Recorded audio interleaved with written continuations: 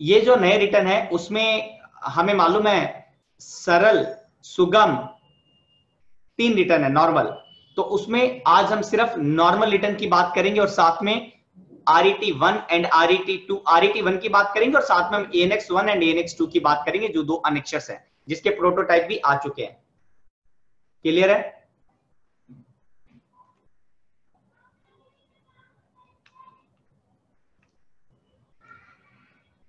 सबसे पहले हम ये समझने की कोशिश करते हैं कि हमारे लिए कौन सा रिटर्न एप्लीकेबल है और उसकी फ्रीक्वेंसी क्या है। सर अगर आपकी turnover up to five CR है, अगर आपकी टर्नओवर पाँच करोड़ तक है,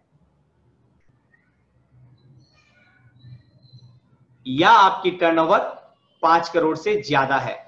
ठीक है ना?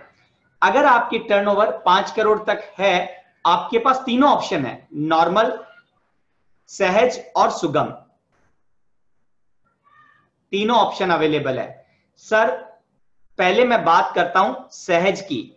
इसका जो जीएसटी रिटर्न है, पहले हम GST R one GST R two और जीएसटी आर थ्री बोलते थे, अब इनको क्या बोलेंगे? R E T one R E T two R E T three R E T मतलब अब वर्ड जीएसटी आर की जगह नाम क्या होगा? R E T word use होगा।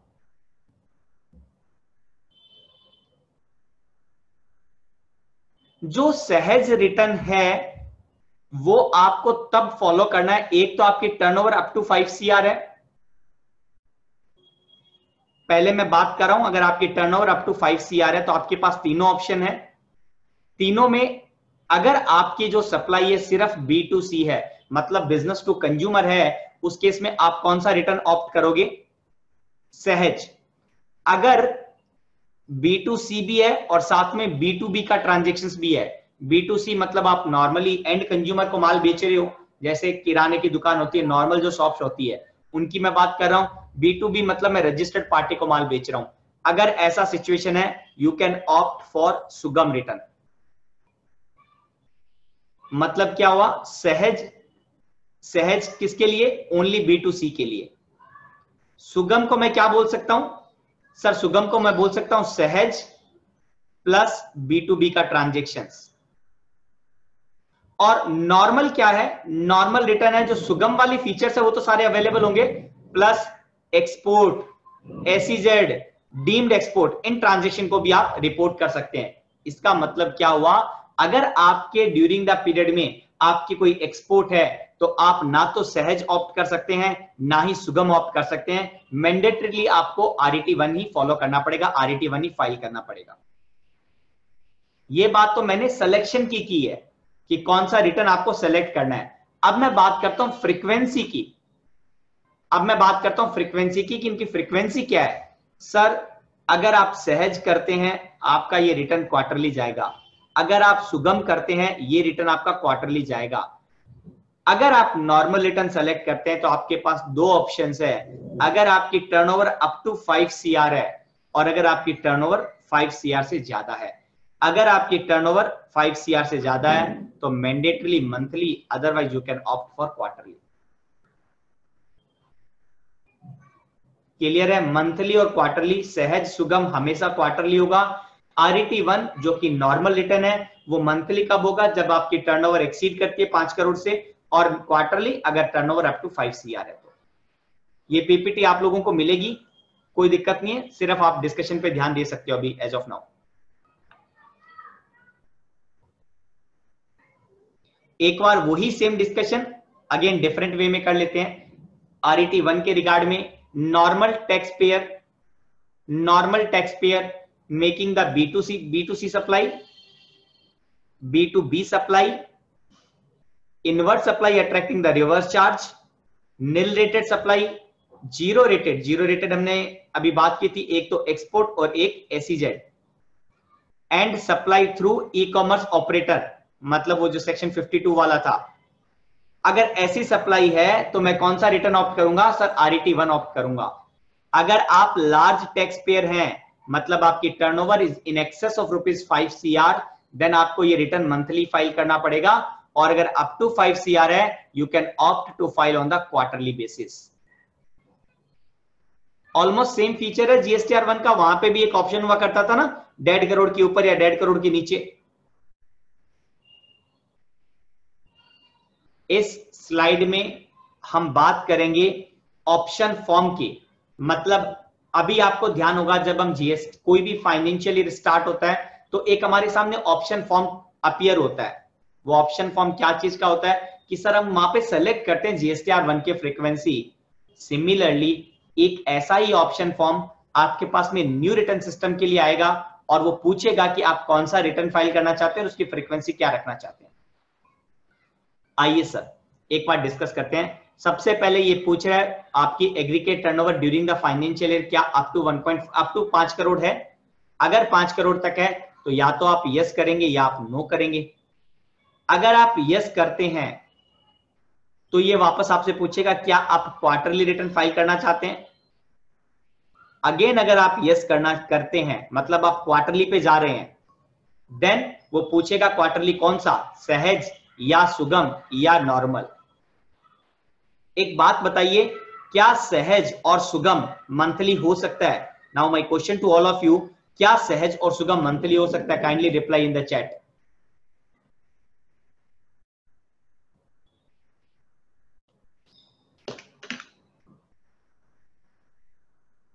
सभी पार्टिसिपेंट रिप्लाई करें।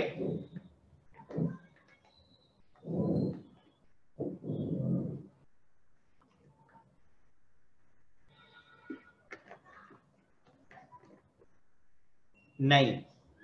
कोई सा भी रिटर्न सुगम हो या जो हो, ये रिटर्न मंथली नहीं हो सकता। Sahaj and Sugam will only be the quarterly जो मंथली या क्वार्टरली हो सकता है, वो नॉर्मल रिटर्न हो सकता है। मेरा ये क्वेश्चन था, वाणी साहब, कि क्या सरल और सुगम, क्या सॉरी सहज और सुगम मंथली हो सकता है? My answer would be no monthly तो सिर्फ़ एक ही रिटर्न है, जो कि नॉर्मल रिटर्न है। क्राइटेरिया कितनी है नॉर्मल नॉर्मल में मंथली या क्वार्टरली में? Up to five C R quarterly और अगर इन एक्सेस है तो मैंडेटली मंथली आगे बढ़ता हूँ सर अब एक बार है ना ब्रीफ में हम आर वन के कंटेंट पढ़ते हैं और फिर वन बाय वन डिटेल में डिस्कशन करेंगे।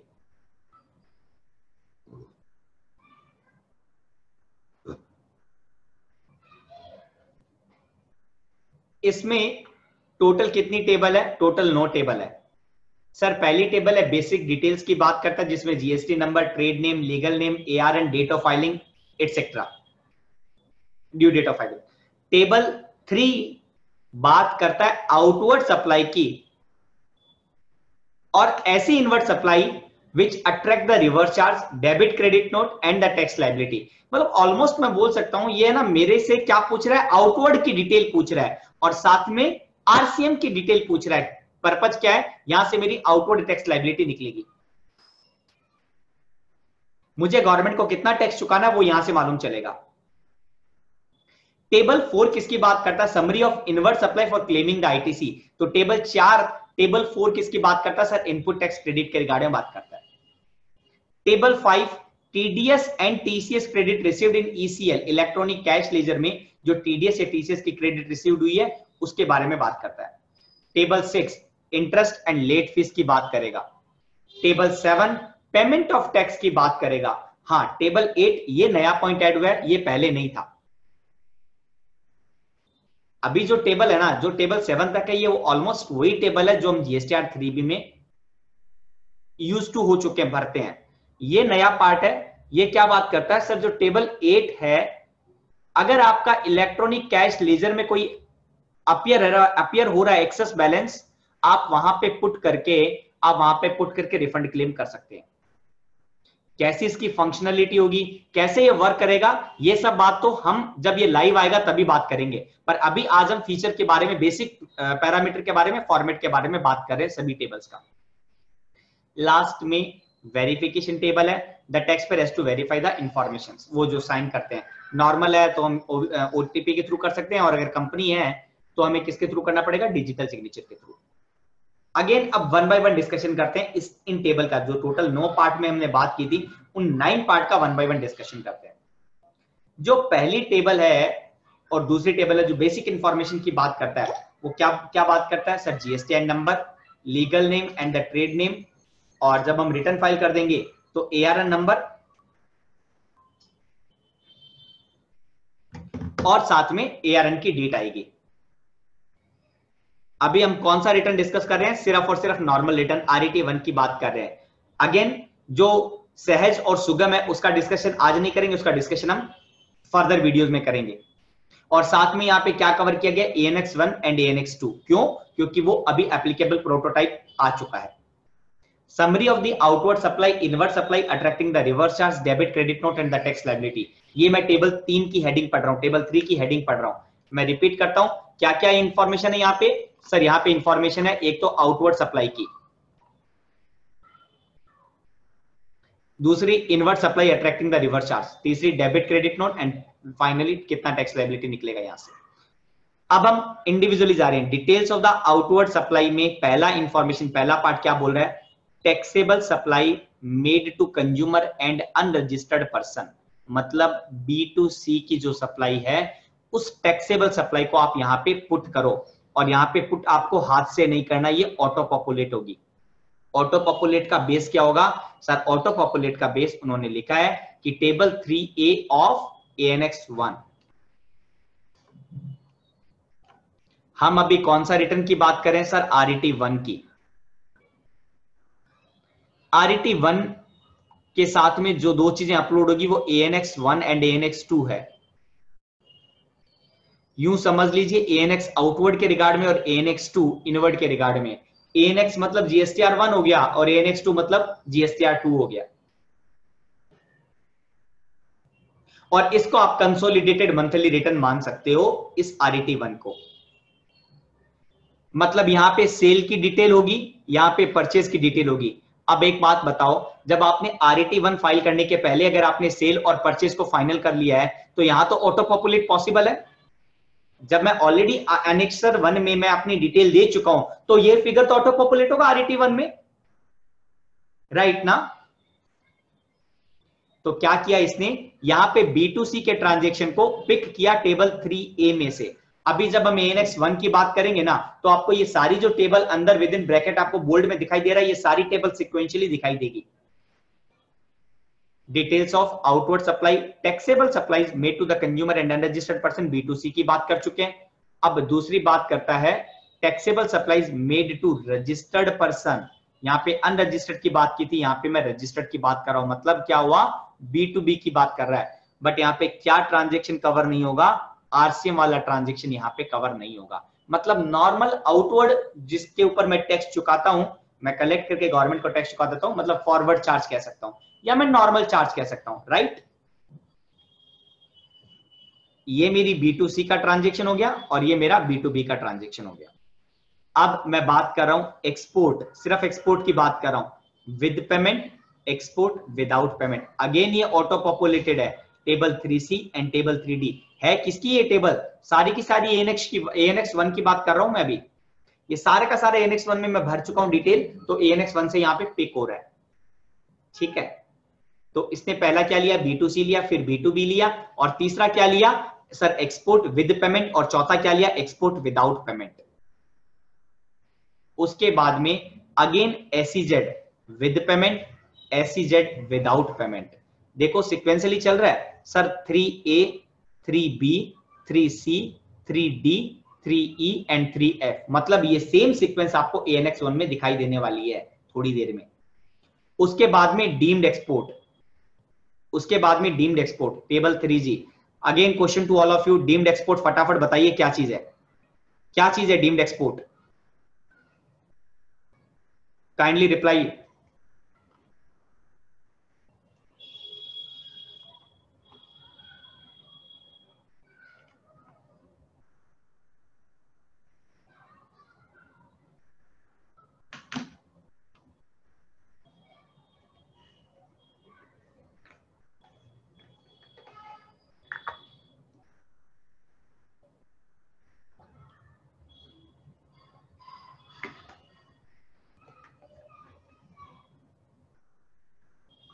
right Saurabh ji? कुछ थोड़ा और? नहीं sir. SEZ supply to SEZ can not be the deemed export sir, एक तो गलती नहीं हो सकती। एक चीज़ तो आप नहीं कह सकते, क्योंकि मैं बात कर चुका हूँ, एक तो एक्सपोर्ट और एसीजेड एक्सपोर्ट और एसीजेड ये क्या है? सर, ये मेरे ज़ीरो रेटेड सप्लाई है। Deemed export is something different मतलब एसीजेड और एक्सपोर्ट नहीं, कुछ और। किसी को भी आइडिया है? नहीं sir. Again merchant export different है। Merchant export is again different जिसमें वो ज़ीरो पॉइंट वन परसेंट वाला जो टैक्स लगता है। अगेन डिफरेंट है। Deemed export is again different चार category actual export SEZ merchant export और डीम्ड एक्सपोर्ट अभी तक पेंडिंग है। Right right, Vishal ji. Section 147 read with notification 48 क्या बात करता है? सर, इस नोटिफिकेशन ने चार सप्लाई को कैटेगराइज किया है डीम्ड एक्सपोर्ट के रिगार्ड में। फटाफट हम बात कर लेते हैं। सर, अगर आप एक्सपोर्ट ओरिएंटेड यूनिट को सप्लाई करते हो तो वो डीम्ड एक्सपोर्ट माना जाएगा।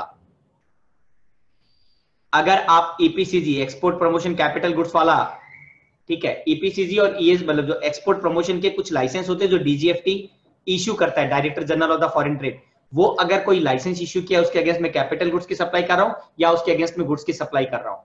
और चौथा, एक नोटिफिकेशन आया था कस्टम में, उसने कहा कि अगर गोल्ड की सप्लाई करता है, कौन? या तो पीएसयू या बैंक या पीएसयू या बैंक अगर गोल्ड की सप्लाई करते हैं, किसको? इन्हीं जिनके पास में डीजीएफटी के लाइसेंस है ईपीसीजी e वाले लाइसेंस है तो इस सप्लाई को भी डीम्ड एक्सपोर्ट कहा जाएगा। इस चार के अलावा कोई भी सप्लाई डीम्ड एक्सपोर्ट नहीं है। Again coming back to the discussion एक बात तो तय है ना सर एक बात तो तय है। अगर मान लो डीम्ड एक्सपोर्ट एसीजेड होता एसीजेड की सप्लाई डीम्ड एक्सपोर्ट होती तो यहाँ पे तो एसीजेड में ऑलरेडी कवर कर चुका हूँ। यहाँ पे तो मैं एक्सपोर्ट कवर कर चुका हूँ। तो ये क्या हुआ? ये डीम्ड एक्सपोर्ट डिफरेंट है। मर्चांट एक्सपोर्ट मर्चांट एक्सपोर्ट क्या है? कोई एक्सपोर्ट नहीं है। वो नॉर्मल बी टू बी का ट्रांजेक्शन है। उसमें कुछ कंडीशन हम सेटिस्फाई करते हैं। कुछ कंडीशन अगर हम सेटिस्फाई करते हैं तो वहाँ पे कंसेशनल रेट एप्लीकेबल होती है। वो रेट 0.1 परसेंट है बट जो मर्चांट एक्सपोर्ट है, वो transaction normal B to B का माना जाता है।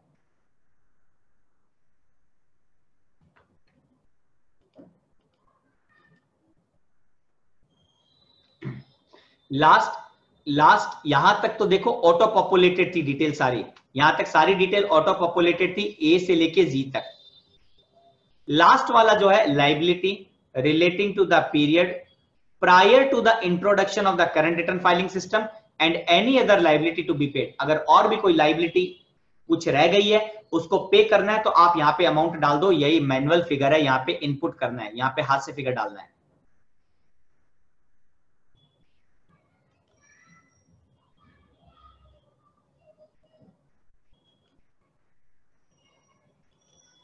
क्लियर है ये वाली बात? अगेन वो वही डिस्कशन किया मैंने। अब मैं वापस आता हूँ। टेबल थ्री ए कंप्लीट हुई। अब मैं टेबल थ्री बी में आता हूँ। समरी ऑफ़ वो टेबल थ्री की एडिंग सेम है। आउटवर्ड सप्लाई इनवर्ड और टैक्स लाइबिलिटी की बात कर रहा हूँ। यहाँ पे मैं बात कर रहा हूँ, ऐसी inward supply which attract the reverse charge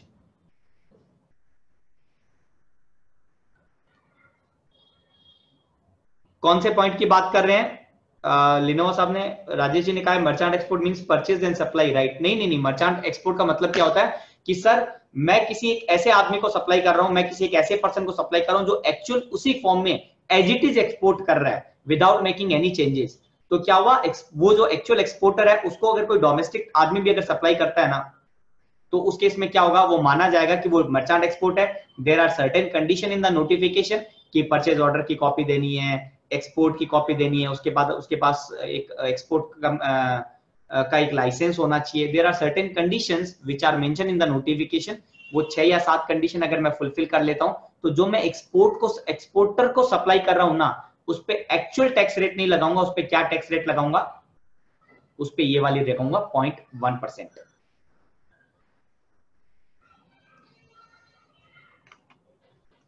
इसी को मर्चांट एक्सपोर्ट कहते हैं।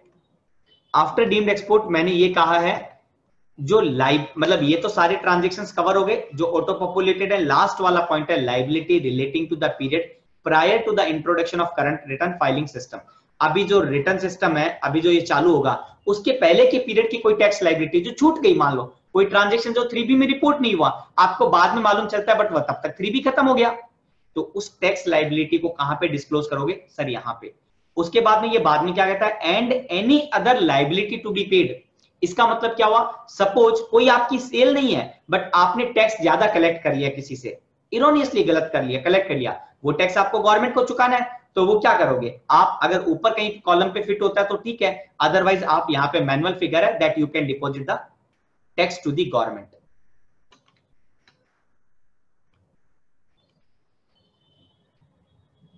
clear okay Rajesh ji Vandana ma'am clear fine अभी हमने सिर्फ़ आउटवर्ड सप्लाई की बात की अब मैं रिवर्स चार्ज की बात कर रहा हूँ। Inward supply attracting the reverse charge word to be noted net of the debit and credit note and advances table three H है। यहाँ पे मैं इनवर्ट सप्लाई जो कि रिवर्स चार्ज अट्रैक्ट करती है। बहुत सारे ट्रांजेक्शन है। उसके बाद में हम बात करते हैं sir import of services table three I three H और थ्री आई मतलब अगेन ये ए एन एक्स वन में डिटेल जा रही है इसकी, और वहाँ से ये ऑटो पॉपुलेट हो रहा है।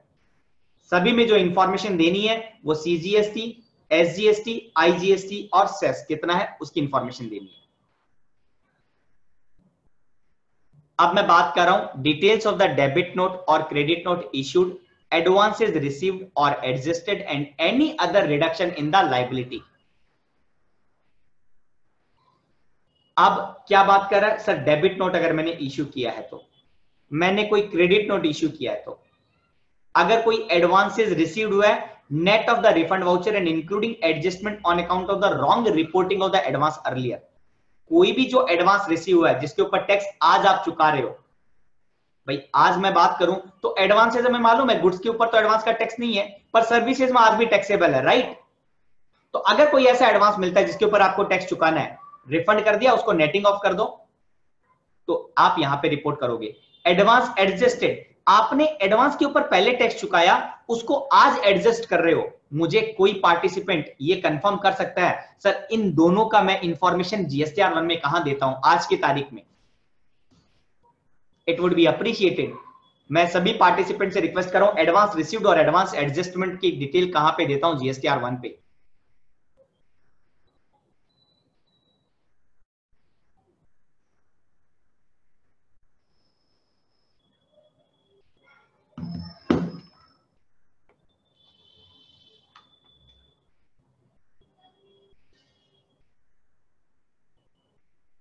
Liability left in the previous period मतलब क्या हुआ विशाल जी? आ, मेरी कोई सेल थी जिसको जीएसटीआर वन में मैं आज रिपोर्ट कर चुका हूँ पर टैक्स तो जीएसटीआर वन के थ्रू नहीं जाता वो थ्री के थ्रू जाता है। तो क्या हुआ कि वो थ्री बी में आप रिपोर्ट करने से भूल गए? तो सब्सिक्वेंट और अब क्या हुआ? अब नया रिटर्न सिस्टम आ गया और पीछे वाले टैक्स पीरियड का कोई रिटर्न नहीं है। पीछे वाला जो टैक्स है वो कैसे चुका हूँ तो no need to report in that liability of previous tax period excellent Saurabh ji. बहुत बढ़िया। Only one reply from Saurabh Talwar ji कि 11A1 and 11A2 Manmohan Singh ji बिल्कुल सही जवाब। Table 11 of the GSTR one में मैं रिपोर्ट करता हूँ। सौरभ जी आप uh, जो रिप्लाई कर रहे हो प्राइवेटली की जगह पब्लिकली रिप्लाई करो। एवरी वन में रिप्लाई करो। Uh, प्रदीप जी जो सस्पेंड हुआ है सिर्फ़ गुड्स के रिगार्ड में हुआ है। सर्विस के रिगार्ड में आज भी टैक्सेबल है। तो कहने का मतलब बिल्कुल सही अनिल व्याजी कहने का मतलब क्या हुआ? मैं जिस पार्ट को टेबल 11 में दिखाता था और उसको एडजस्ट 11 में करता था अब नए रिटर्न में आर वन में एडजस्ट करने का तरीका क्या है? सर, आप थ्री सी में रिपोर्ट करोगे।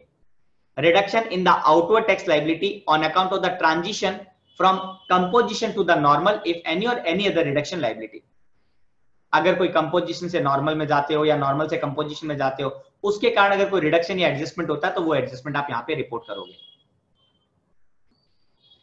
अब मैं बात कर रहा हूँ थ्री डी की। ऐसी सप्लाई जिसके ऊपर आपको कोई टैक्स नहीं चुकाना है ऐसा इंफॉर्मेशन जिसके ऊपर आपको टैक्स नहीं चुकाना है बट वो आपकी आउटवर्ड सप्लाई है। मालूम है sir exempted supply nil rated supply non GST supply again यहाँ पे वर्ड इंक्लूडिंग नो सप्लाई है। अगेन यहाँ पे वर्ड इंक्लूडिंग नो सप्लाई है। नो no सप्लाई का मतलब क्या हुआ? सर शेड्यूल थ्री वाली supply schedule three negative list आठ ट्रांजेक्शन वो हाई सीज का सेल अगर कस्टम टेरिटोरी को क्रॉस किए बिना ही आपने बाहर से बाहर माल बेच दिया। That I hope you are remember just मैं आपको खाली ब्रीफ बता रहा हूँ शेड्यूल थ्री की जो नेगेटिव लिस्ट की सप्लाई है, जिसको मैं नो सप्लाई कहता हूँ, अभी तक कंफ्यूजन था जीएसटी नाइन के पहले कि मुझे उसे रिपोर्ट करना या नहीं करना। जीएसटी नाइन ने कंफर्म कर दिया। Non GST supply will include the schedule three supply as well तो नॉन जीएसटी में दो पार्ट आएँगे। नॉन जीएसटी में दो पार्ट आएँगे।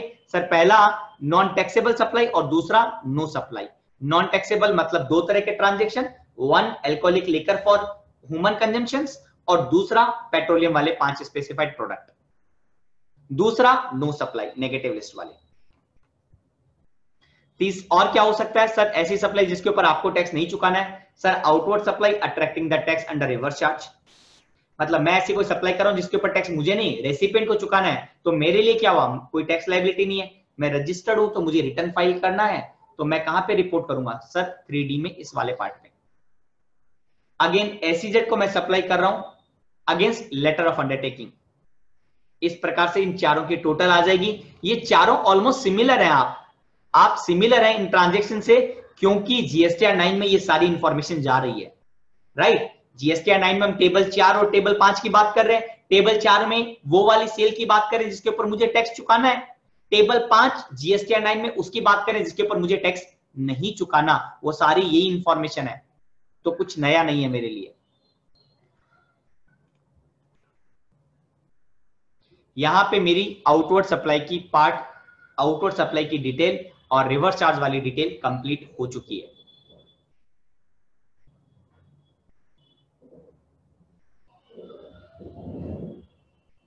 एक बार इसके रिगार्ड में कोई क्वेश्चन है, कोई कंफ्यूजन है तो आप एक बार बात कर सकते हैं। अदरवाइज़ मैं टेबल फोर में शिफ्ट हो जाऊँगा। दो मिनट का डिस्कशन अगर कोई चाहते हैं कोई भी पॉइंट के रिगार्ड में we can have the discussion मेरे हिसाब से यहाँ पे कुछ है नहीं क्वेश्चन सिंपल बात कर रहा है which we have already habitual of that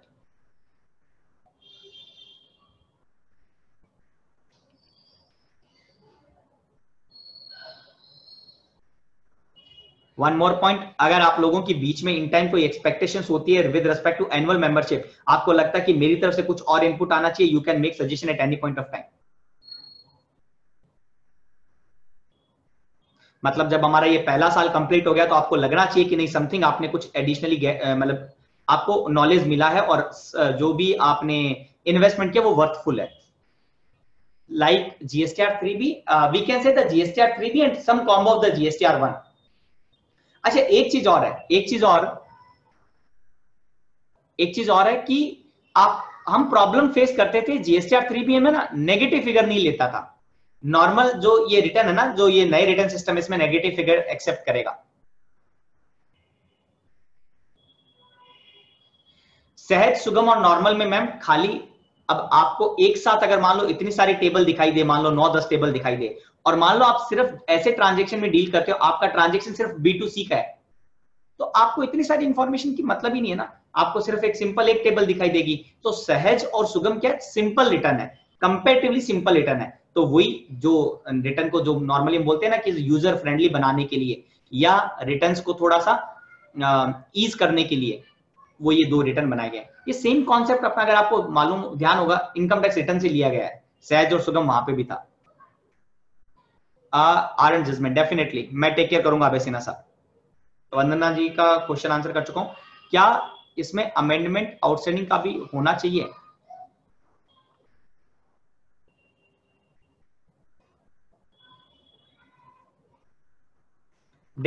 Non GST supply versus no supply sir non GST supply include no supply तो जीएसटी सप्लाई और नो सप्लाई में कोई अंतर नहीं है। जीएसटी सप्लाई को मैं दो पार्ट में डिवाइड कर सकता हूँ। एक minute one by one discussion कर लेते हैं। जीएसटी सप्लाई के दो पार्ट हैं। Taxable supply non taxable supply क्या वन प्लस फाइव मैं नॉन टैक्सेबल सप्लाई को वन प्लस फाइव के रूप में समझने, समझना इजी रहता है। वन मतलब एल्कोहलिक लेकर फाइव मतलब फाइव स्पेसिफाइड पेट्रोलियम प्रोडक्ट और दूसरा पार्ट क्या नो सप्लाई मतलब शेड्यूल थ्री वाली सप्लाई दोनों ही नॉन जीएसटी सप्लाई है. दोनों सप्लाई नॉन जीएसटी है. इसके दो अलग अलग पार्ट बना दिए. नॉन टैक्सेबल जिसके ऊपर टैक्स ही लेवी नहीं है, और नो सप्लाई जो टैक्सेबल तो है बट चूँकि वो शेड्यूल थ्री में मेंशन हो गया, इसके कारण इसके ऊपर जीएसटी नहीं लगता.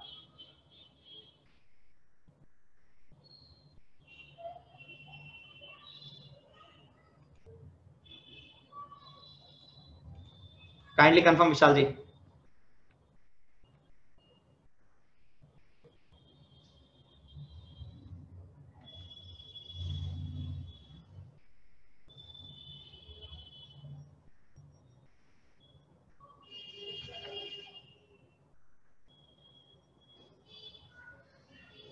लिनोवा जी राजेश जी, देखते हैं कहाँ पॉइंट दिया हुआ इसने अमेंडमेंट का। अभी तो अपने बहुत सारे, जब ये लाइव आएगा, उसके पहले बहुत सारे डिपार्टमेंट की क्लेरिफिकेशन आएँगे। वन बाय वन हम सारे क्लेरिफिकेशन को डिस्कस करते रहेंगे।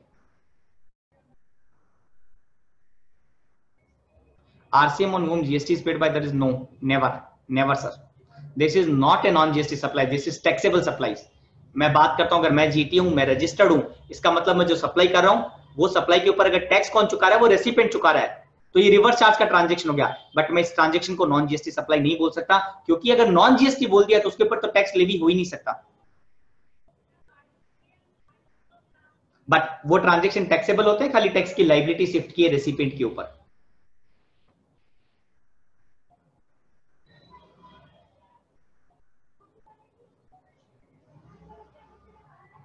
क्लियर है सर अब हम स्टार्ट करते हैं समरी ऑफ़ इनवर्ट सप्लाई यहाँ पे कुछ कंफ्यूजन है। वेट फॉर सम क्लैरिफिकेशन या जब पोर्टल पे आएगा तो तभी मालूम चलेगा। वन बाय वन डिस्कशन करते हैं। ये कितने पार्ट में डिवाइड है? पहले बात करता है details of the ITC based on the auto population from ANX one and action action taken from the ANX two देखो एएनएक्स वन हमने बात की थी। ऑल टुगेदर क्या बात करता है? वो आउटवर्ड सप्लाई की बात करता है और रिवर्स चार्ज की बात करता है। अब रिवर्स चार्ज का ट्रांजेक्शन के ऊपर आपको इनपुट लेना है ना? भाई रिवर्स चार्ज का जो ट्रांजेक्शन है, उसके ऊपर पहले आपने टैक्स चुकाया और उसके बाद उसकी आईटीसी लोगे। तो इसने क्या कहा? Details of the ITC based on the auto population from ANX one तो क्या हुआ? रिवर्स चार्ज के जो ट्रांजेक्शन है, वो ये टेबल कहाँ से पिक करेगा? एएनएक्स वन से पिक करेगा।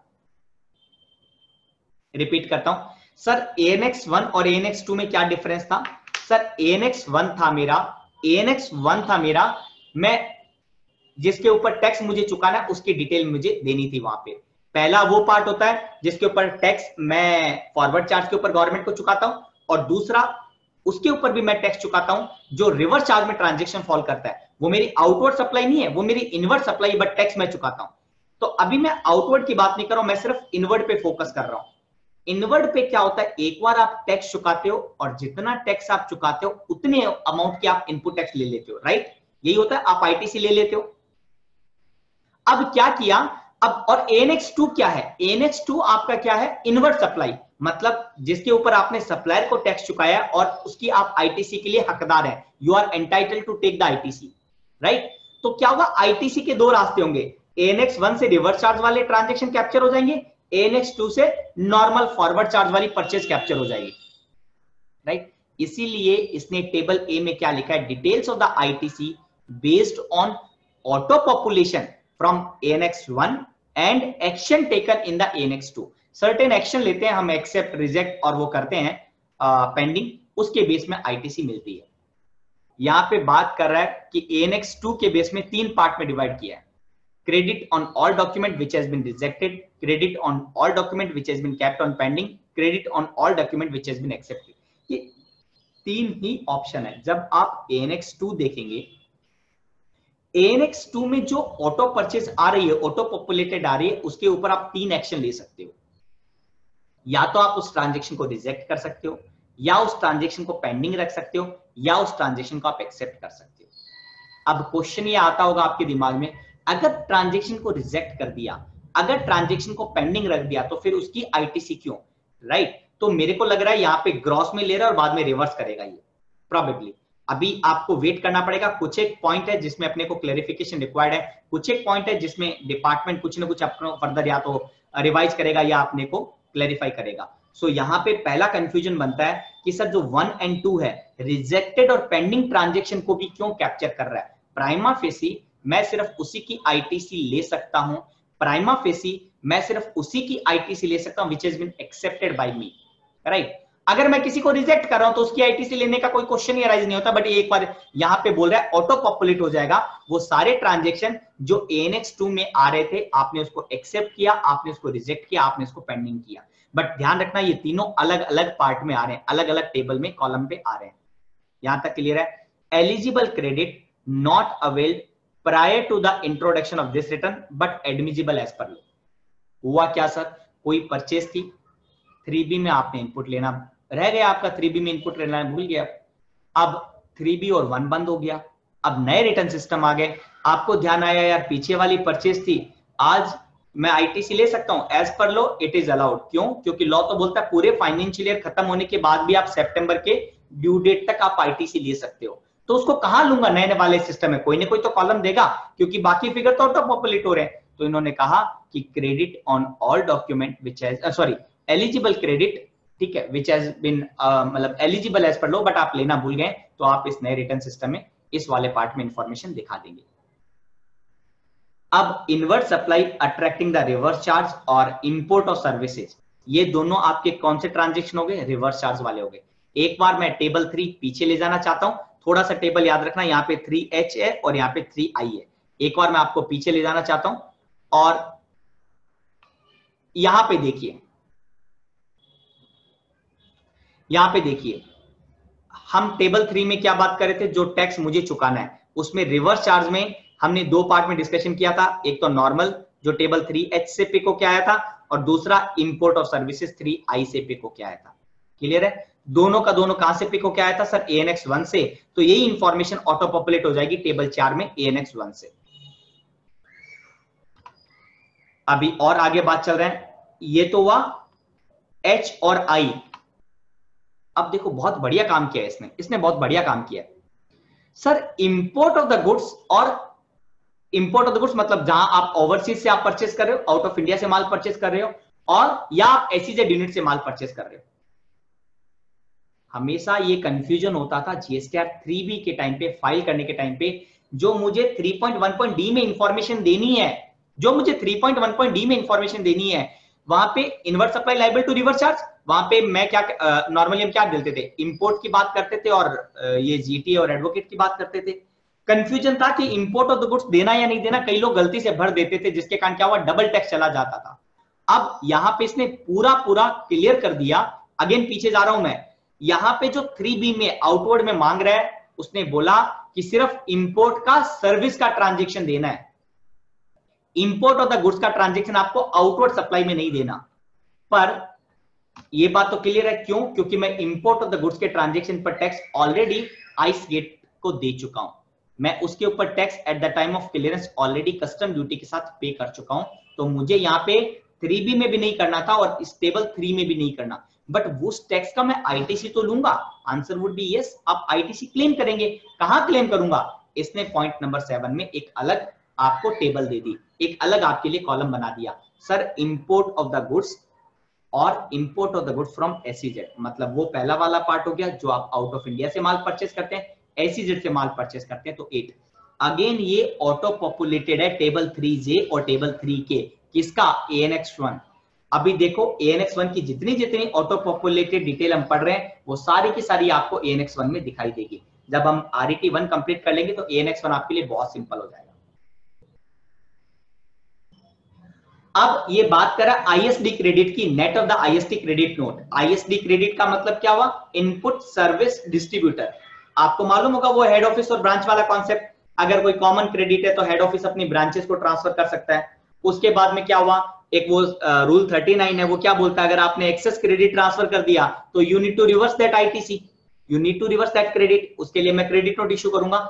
यहाँ पे आईएसडी का जो क्रेडिट है और नेट ऑफ़ कोई भी क्रेडिट डेबिट नोट है, उसको मैं एडजस्ट करके यहाँ पे उसकी आईटीसी लूँगा। यहाँ पे उसकी आईटीसी लूँगा। अगेन मैनुअल नहीं है सर ये वाला फिगर ऑटो पॉपुलेटेड है। तो एक बात तो मुझे समझ में आ गई R E T one is ninety percent auto populated तो मेन काम कहाँ पे है? Sir A N X one और ए एन एक्स टू पे मेन काम है। क्योंकि बाकी तो इंफॉर्मेशन यहाँ पे ऑटोमेटिकली आएगी।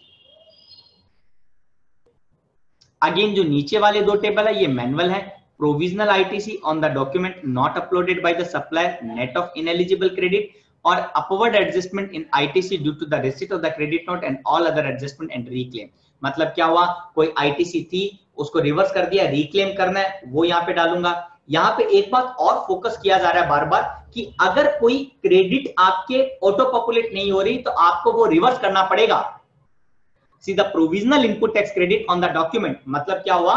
कि सर सप्लायर ने एक बार अपलोड नहीं किया, मैंने आईटीसी ले ली। ठीक है ना? बट आप उस आईटीसी को रिटेन नहीं कर सकते। There would be certain period there would be certain changes कि भाई कब तक रिवर्स करना पड़ेगा? तो दो महीना है मेरे हिसाब से कि दो महीने तक वो अपलोड कर देता तो ठीक है provisional credit will be continued अगर दो महीने तक वो अपलोड नहीं करता you need to reverse that ITC clear है? मैं आईटीसी मैं ले सकता हूँ बट अगर फाइनली वो डॉक्यूमेंट अपलोड नहीं करता है एएनएक्स वन में अपलोड नहीं करता एएनएक्स टू में ऑटो पॉपुलेट नहीं होता है, मेरे एएनएक्स टू में ऑटो पॉपुलेट नहीं होता है तो वो क्रेडिट मुझे रिवर्स करनी पड़ेगी। कहाँ पे रिवर्स करूँगा? सर, यहाँ पे पॉइंट नंबर टेन में। तो यहाँ पे मैंने ग्रॉस आईटीसी की बात कर ली। अब मैं आईटीसी के रिवर्सल की बात करूँगा।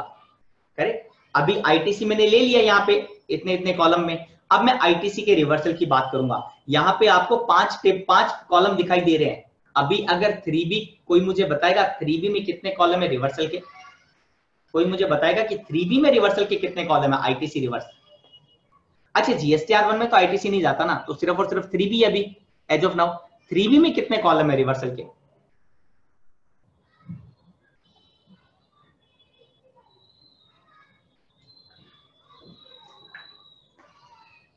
वाणी साहब, अभी ए एन एक्स वन की बात करेंगे टू मंथ की बात करेंगे क्वार्टरली के केस में क्वार्टरली के केस में एक क्वार्टर रखा और मंथली के केस में दो महीना रखा है। जो अभी नॉर्मल रिटर्न की बात करूँ तो वो मंथली है, उसके लिए दो महीने का टाइम रखा है और अगर सप्लायर ऐसा है जिसने क्वार्टरली ऑप्ट किया तो उसके लिए एक क्वार्टर तक आप प्रोविजनल क्रेडिट ले सकते हैं। बिल्कुल सही जवाब कि सर, दो कॉलम है वहाँ पे जीएसटीआर थ्री बी में, पहला है एज पर रूल 42 43 और दूसरा अदर रिवर्सल अदर रिवर्सल में सारे हम डालते थे। भाई वो 39 का था 37 का था 37 मतलब विद इन 180 डेज़ आपने पेमेंट नहीं किया। ऐसे बहुत सारे, कोई गलती हुई तो हम सारे के सारे वो अदर रिवर्सल में डालते थे। अभी क्या ऑप्शन है? बात करते हैं वन बाय वन क्या क्या दिया इसने। Credit on document which has been accepted in the previous return but rejected in the current experience पहला आपने क्रेडिट ले लिया बट अभी आपने रिजेक्ट कर दिया। Supply not eligible for credit including ISD credit मतलब क्या out of the net credit available in the table four A above मतलब कोई आईटीसी जो फोर ए में आपने ली है फोर ए में आपने ली है, उसमें से कोई पार्ट ऐसा था जो गलत ले लिया तो उसको आप रिवर्स कर दो। तीसरा reversal of the credit in respect of the supply on which the provisional credit has already been claim but document has not been uploaded by the supplier in the current tax period वो अभी जो मैंने दो महीने की बात की, या क्वार्टर की बात की, वो सब्सिक्वेंटली कवर हो जाएगी। बट ऐसा आईटीसी जो आपने प्रोविजनली लिया बट अभी तक उसने नहीं पे किया, नहीं अपलोड किया। उसके बाद में बाकी सारे जो रूल थे ना रूल 37 180 डेज़ में अगर सप्लायर को पेमेंट नहीं किया तो रिवर्स करना पड़ता है। रूल 39 आईएसडी के केस में एप्लीकेबल होता है। अगर आपने एक्सेस क्रेडिट ट्रांसफ़र कर दिया अपनी ब्रांचेस को तो रूल 39 बोलता है एक्सेस को आपको रिवर्स करना पड़ेगा। 42 आप सभी को मालूम है कि सर मेरी आउटवर्ड सप्लाई टैक्सेबल भी है और आउटवर्ड सप्लाई एग्जेंट भी है। या मैं बिज़नेस और नॉन बिज़नेस दोनों पर्पज के लिए यूज़ करता हूँ। तो सेक्शन 17 क्या बोलता है? कि सर आपको प्रोपोर्शनेट आईटीसी रिवर्स करनी पड़ेगी। रिवर्स करने का फॉर्मूला कहाँ पे दिया हुआ है? सर 42 43 में दिया हुआ है। उसके अकॉर्डिंग रिवर्स करूँगा। और other reversal including the downward adjustment of the ITC on account of the transition from composition to normal, if any मतलब कंपोजिशन से नॉर्मल में गया अगर अपवर्ड है तो पीछे वाले पार्ट में टैक्स लाइबिलिटी में ऐड किया था, अगर रिवर्सल है क्रेडिट तो मैं यहाँ पे कर दूँगा। लास्ट में ये सब टोटल हो जाएगी और नेट फोर सी क्या आ जाएगा? ITC available net of reversal यहाँ पे कुछ है option ITC declare during the अब मैं फोर डी की बात कर रहा हूँ ITC declare during the first two month of the quarter मतलब आप क्वार्टरली अगर आपने ऑप्ट किया तो फोर डी एप्लीकेबल होगा। सर आप है ना क्वार्टरली रिटर्न के केस में भी जो जीएसटीआर टू है आईटीसी आप मंथली बेसिस पे लॉकिंग सिस्टम अवेलेबल है। आपको मालूम होगा कि सर एक लॉक वाला सिस्टम भी अवेलेबल है। कि मतलब क्या है, आप है ना रेगुलर बेसिस पे इन्वॉइस चढ़ाते रहो मैं मानता हूँ, मैं सप्लायर हूँ और आप कस्टमर है। आप रेसिपिएंट है। मेरी कोई भी फ्रीक्वेंसी हो, चाहे मंथली हो क्वार्टरली मैं इनवॉइस अपलोड कर सकता हूँ अपने आरईटी वन पे। जैसे ही मैंने अपलोड किया, ये आपको रियल टाइम बेसिस पर आपको दिखाता रहेगा आरईटी टू में। आपने क्या किया? आरईटी टू में उस ट्रांजेक्शन को लॉक कर दिया। लॉक मतलब आपने उसको एक्सेप्ट कर लिया लॉक कर दिया। अब मैं उसमें फर्दर एडिटिंग नहीं कर सकता। मतलब आप रिटर्न एक्चुअली फ़ाइल भले क्वार्टर में करो, भले क्वार्टर खत्म होने के बाद करो। या मैं रिटर्न क्वार्टर खत्म होने के बाद करूँ बट लॉकिंग वाला बेसिस जो सिस्टम है वो लाइव बेसिस पे चलता रहेगा। अब देखो, यहाँ पे ध्यान रखो ई इनवॉइसिंग का सिस्टम भी आने वाला है कि भाई जहाँ पे इनवॉइस आप किसके थ्रू करोगे? पोर्टल के थ्रू करोगे। ई इनवॉइस जैसे किया, उसका ऑटो पॉपुलेशन एएनएक्स वन में होगा। अगेन उसके बेस पे एएनएक्स टू में जाएगा, उसको लॉक कर दो, आपकी क्रेडिट अलाउड हो जाएगी।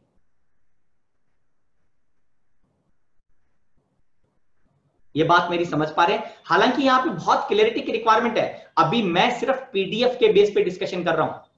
अभी मैं सिर्फ़ फॉर्मेट के बेस पे डिस्कशन कर रहा हूँ। या जो मैं डिस्कशन कर रहा हूँ, उसका बेस क्या है? Certain instruction given by the department अब जैसे ही लाइव आएगा, जैसे इसका प्रोटोटाइप आएगा तो थोड़ी और क्लियरिटी मिलेगी, हम वापस फर्दर डिस्कशन करेंगे। पर जितना अभी इंफॉर्मेशन है, उतना हम आज डिस्कशन कर लेते हैं आरईटी वन के रिगार्ड में। उसके बाद में क्या होगा? पहले महीने और दूसरे महीने में जो भी आपने लॉक किया, आपका क्वार्टरली ऑप्शन है। एक्चुअल आईटीसी आप कब लोगे?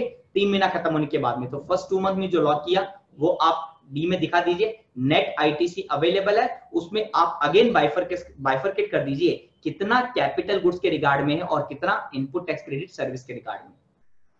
तो एटलीस्ट अगर आपका ये मंथली बेसिस पे या क्वार्टरली बेसिस पे बाइफर्केशन होता गया तो क्या होगा? सर आपको वहाँ पे दिक्कत नहीं आएगी जीएसटीआर नाइन के टाइम पे। Amount of the TDS and TCS credit receive in the electronic cash ledger amount will be credited in the electronic cash ledger based on the return filed by the TDS deductor TDS deductor आपको मालूम होगा GSTR seven file करता है। और जो TCS collector होता है, कौन होता है sir TCS collector e commerce operator वो कौन सा रिटर्न फ़ाइल करते हैं? जीएसटीआर एट फास्ट मुझे एक रिप्लाई कर देंगे टीडीएस की रेट क्या और टीसीएस की रेट क्या है? थोड़ा फास्ट रिप्लाई करेंगे। टीडीएस क्या रेट पे डिडक्ट होता है? टीसीएस क्या रेट पे कलेक्ट होता है?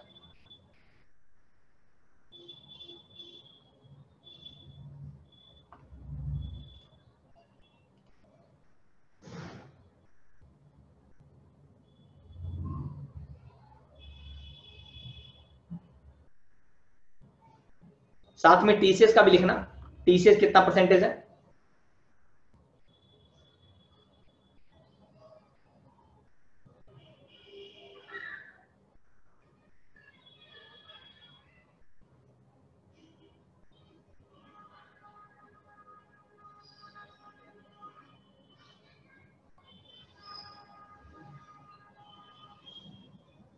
सर टीसीएस कितना परसेंट है? राइट राइट तो मतलब क्या हुआ? टीडीएस दो परसेंट है और टीसीएस वन परसेंट है। टीडीएस कौन डिडक्ट करता है? सिर्फ़ गवर्नमेंट और टीसीएस कौन कलेक्ट करता है? टीसीएस कौन कलेक्ट करेगा? थोड़ा फटाफट।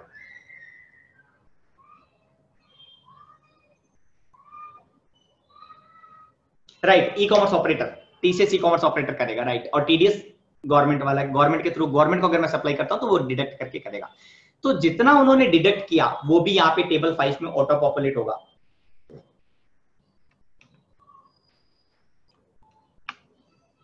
इंटरेस्ट और लेट फ़ीस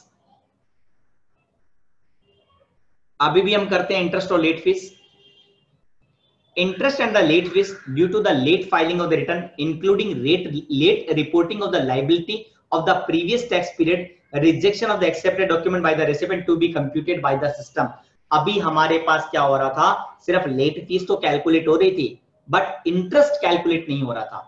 अब नए वाले सिस्टम में क्या होगा? सर इंटरेस्ट भी सिस्टम कैलकुलेट करेगा, क्योंकि मैं यहाँ पे इनवॉइस वाइज इंफॉर्मेशन दे रहा हूँ एएनएक्स वन में।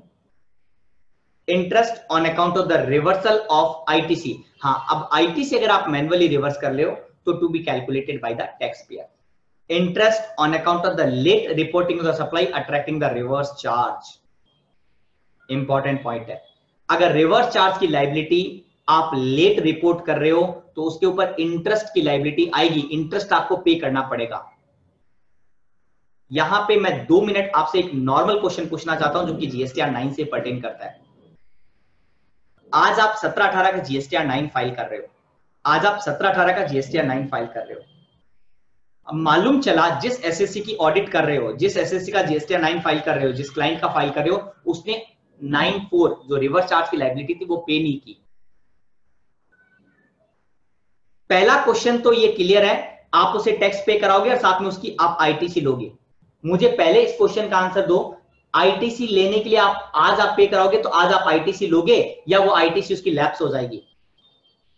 काइंडली कंफर्म ये प्रॉब्लम सभी जीएसटी नाइन की जो भी ऑडिट आप क्लोज कर रहे हो, सब में ये प्रॉब्लम आएगी।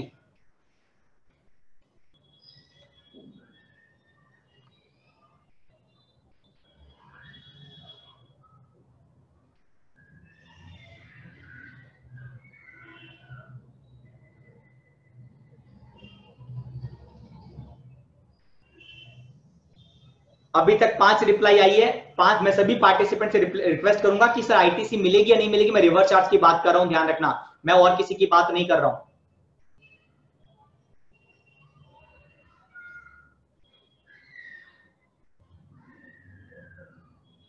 दो व्यू आ रहे हैं, मिलेगी और दो, एक व्यू आ रहे हैं लेफ़्ट हो जाएगी। कहीं पे एक इकतीस मार्च की डेट आ रही है। First point to be remember जो टाइम लिमिट है ना 16 फोर वाला जो टाइम लिमिट है सेक्शन 16 सबसेक्शन 4 की जो टाइम लिमिट है, वो टाइम लिमिट सिर्फ़ फॉरवर्ड चार्ज के लिए एप्लीकेबल होती है रिवर्स चार्ज के लिए एप्लीकेबल नहीं होती। तो मतलब क्या हुआ? जब आप पे करोगे, तब आप आईटीसी ले सकते हो। से पाँच साल बाद अगर रिवर्स चार्ज की लाइबिलिटी कोई पे कर रहे हो ना कैश में, उसकी आईटीसी आप तब भी ले सकते हो। डिपार्टमेंट ने भी कंफर्म किया है, तीन जुलाई का डिपार्टमेंट ने एक सर्कुलर इश्यू किया था। ये बात मैंने सिर्फ़ आईटीसी के रिगार्ड में की है। Of reverse charge normal ITC की बात नहीं कर रहा हूँ। गुजरात हाईकोर्ट के डिसीज़न को अगर मैं सेट असाइड रखता हूँ तो नॉर्मली 31 मार्च 2019 की जो ड्यू डेट थी वही मेरी लास्ट डेट थी। गुजरात हाईकोर्ट के बाद में थोड़ा सा आ, मतलब काउंटर आर्ग्यूमेंट अराइज हुआ but that would be applicable for Gujarat. अगर मैं गुजरात के बाहर हूँ तो मैं उसका बेनिफिट भी नहीं ले सकता गुजरात हाईकोर्ट के डिसीज़न का। राइट सर तीन जुलाई का सर्कुलर नंबर तो मुझे मालूम नहीं तीन जुलाई का आप देख लेना सर्कुलर आपको मिल जाएगा। मैं इस क्लास के बाद में आपको सर्कुलर अपने एनुअल मेंबर्स वाले ग्रुप में डाल दूँगा। जी सर जी सर जी सर। अब एक पॉइंट है, उसकी जो टैक्स लाइबिलिटी है। आज आप पे कराओगे ना answer would be yes with interest answer would be yes आज जो आप जीएसटीआर नाइन फिल करोगे सेवनटीन एटीन का, ये क्लियरिटी पेंडिंग है, ये क्लियरिटी पेंडिंग है। आईटीसी मिलेगा, नहीं मिलेगा, इसकी क्लियरिटी आ चुकी है। बट ये डाउट अभी भी है, उस ट्रांजेक्शन को मैं 17 18 में रिपोर्ट करूँगा या 19 20 में रिपोर्ट करूँगा। There is two thought process मेरे हिसाब से ये 17 18 में जाएगा विद इंटरेस्ट टैक्स पे होगा 17 18 के जीएसटी 9 में रिपोर्ट होगा, उसकी आईटीसी 19 20 में आप क्लेम कर सकते हो। हालाँकि डिफरेंट डिफरेंट व्यू है आर्ग्यूमेंट है तो ये मैंने अपना थॉट प्रोसेस आपके साथ शेयर किया बट आईटीसी के रिगार्ड में now there is no ambiguity confirm by the department you can because reverse charge की जो आईटीसी की एंटाइटलमेंट होती है ना, वो तभी होती है जब आप पे करते हो। जब तक आप पे नहीं करोगे ना, तब तक तो एंटाइटलमेंट ही अराइज नहीं होता। एलिजिबिलिटी अराइज नहीं होती आरसीन की। राइट अगेन यहाँ पे आते हैं other interest liability to be calculated by the taxpayer और कोई इंटरेस्ट की लाइबिलिटी है टू बी स्पेसिफाइड आप बता दो और आप उसको कैलकुलेट कर दो और यहाँ पे फिगर डाल दो। अब टैक्स का पेमेंट आपको करना है। एक taxpayer need to make the payment after utilising the ITC however any payment of the interest should be made in cash any payment of the interest late fees और penalty ये हमें मालूम है। रिवर्स चार्ज वाला और interest और penalty वाला amount हमें कैश में पे करना होता है। नॉर्मल सिस्टम है। आईटीसी कैसे लेते हैं? जो अभी एजिटे सिस्टम है, वही चलेगा। और अगर कुछ फर्दर रूल और चेंजेस होते हैं तो बात अलग है।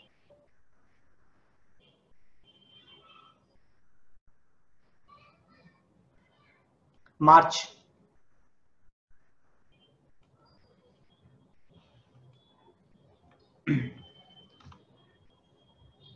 अब एक ये नया पॉइंट ऐड हुआ है, ये पहले ना तो थ्री में था, ना वन में था, ना वन में था, ये क्या हुआ? Refund claim from electronic cash ledger अब क्या, अगर इलेक्ट्रॉनिक कैश लेजर से आप रिफंड भी लेना चाहते हो तो ये आप आर वन के टाइम ही आपको अप्लाई कर सकते हो। आपको डिफरेंट आर एफ़ फ़ाइल करने की ज़रूरत नहीं पड़ेगी। ये सिस्टम एक्ट में लिखा हुआ था for certain categories of the taxpayer UIN holder की अगर आप लैंग्वेज देखोगे यूआईएन होल्डर में जाओगे ना तो उन्हें ये कहा गया कि जब आप रिटर्न फ़ाइल करोगे, वहीं पे आप रिफंड क्लेम कर लोगे। बट कैसे? कोई मैकेनिज्म नहीं थी तो उन्होंने R F D zero one add किया। अब ये मैकेनिज्म आर वन में आ चुकी है तो मेरे को लगता है उस केस में अब आपको अगर इलेक्ट्रॉनिक कैश लेजर से रिफंड लेना है इलेक्ट्रॉनिक कैश लेजर में आपका एक्सेस बैलेंस है, उसका अगर आप रिफंड लेना चाहते हो, आपको सिर्फ़ टेबल एट फिल करनी है there is no requirement to file R F D one कुछ एक पॉइंट की बात कर लेते हैं हम लोग वन बाय वन